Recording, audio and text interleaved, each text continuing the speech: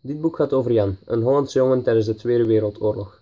Dit verhaal is speciaal in de zin dat het gaat over iemand die langs de slechte kant meevocht.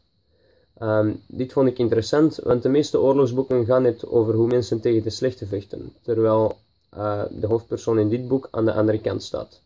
Het boek is soort van autobiografisch geschreven met enkele fantasie-elementen erin, um, zoals bijvoorbeeld hoe vaak de hoofdpersoon hier um, aan de dood ontsnapt.